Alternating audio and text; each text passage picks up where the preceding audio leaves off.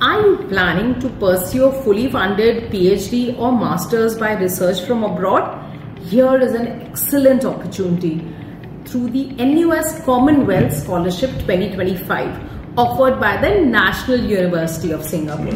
This prestigious scholarship is open to students from Commonwealth countries who are applying for a full-time research degree at NUS. Here's what you can expect from this opportunity full-time tuition fee waiver for the entire duration of the program. Monthly stipend ranging from 2500 to 2700 Singaporean dollar. Renewable funding for up to 4 years for PhD candidates.